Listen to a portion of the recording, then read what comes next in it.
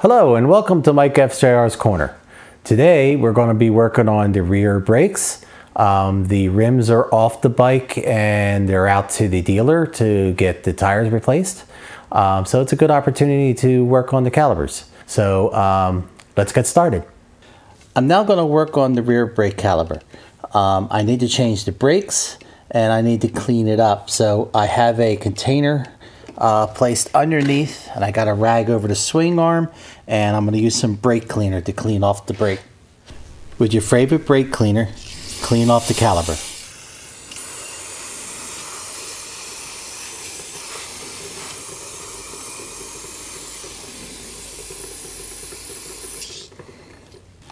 And I'm going to slide the axle through the temporary holder caliper.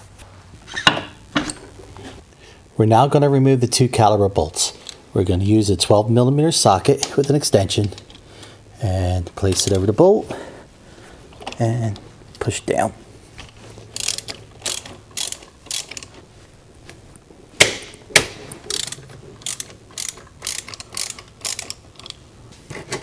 Remove the second bolt. Slide the caliper down. Remove the brake pads. Take the brake cleaner and clean the piston. Take a rag and clean off the piston. Now remove the right side plastic panel.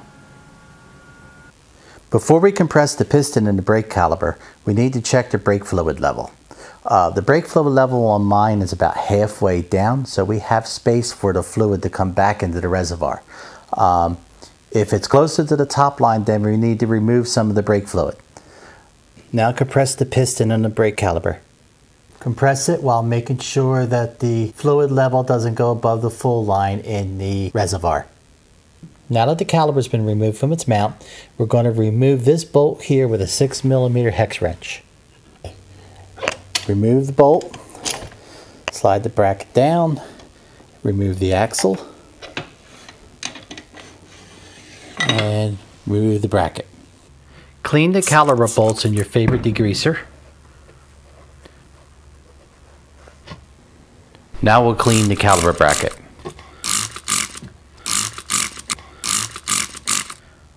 I'm going to remove the boot off the mount by prying sideways and pulling it out of its mount.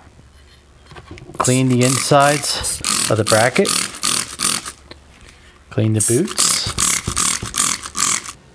I'm now going to remove the brake clips by taking a small screwdriver and sliding it underneath the clip, slowly prying it out. It should pop out fairly easily. Then clean off the bracket. And once you have the bracket fully clean, you can set it aside. Clean the boots and inspect for any damage. If you find any damage in the boot, then replace them. Spray off the brake clips with brake cleaner. Use a wire brush if necessary. Once the brake clips are clean, we're going to reinstall them into the bracket. We're going to install the boots into both holes. I'm using the Permatex ceramic brake parts lubricant. Now let's apply a pea-sized amount of lubricant to both holes. Apply grease to one of the caliper pins. Push the pin into the bracket using a twisting motion to spread the lubricant. Fill the boot with lubricant, then push the boot into the bracket. Apply a lubricant to the brake clips. Wipe away any excess lubricant. The brake pads I want to install are the EBC Double H brake pads. We're now going to mount the caliper bracket back onto the bike. Place it behind the swing arm and slide the axle in. Slide the caliper bracket up into the brake arm and slide the bolt in. Apply grease to the back of the piston. Apply grease to the sliding parts of the brake pad. Apply grease to the back side of the brake pad where the brake pad touches the caliper. Slide the brake pad into the holder in the caliper. Apply lubricant to the sliding points on the second brake pad. Slide the brake pad into the holder in the caliper. Lubricate the caliper pins. Slide the caliper over the brakes and up in front of the boots and slide the caliper pin in through the boot. Take a 12 millimeter socket and turn the pins in. Torque both caliper pins to 230 inch pounds. Wipe away any excess remaining grease. The rear caliper is now complete. Now let's work on the front brake calipers. I suspended the caliper with a bungee cord so that the caliper does not pull on the brake line. I also placed a bucket under the caliper to catch any brake dust and or brake cleaner. With a rag behind the caliper, use the brake cleaner to clean the brake dust off the caliper. There are two clips holding the pin into the caliper. With a hook or small screwdriver, carefully slide each clip out by pulling up on the clip. Slide the pin out of the caliper. Remove the support clip and brake pads. With a rag soaked with brake cleaner, clean the inside of the caliper, cleaning the seals and pistons. Now with your favorite soap, spread the entire caliper and wipe off with a rag. I'm going to be using the EBC Double H brake pads.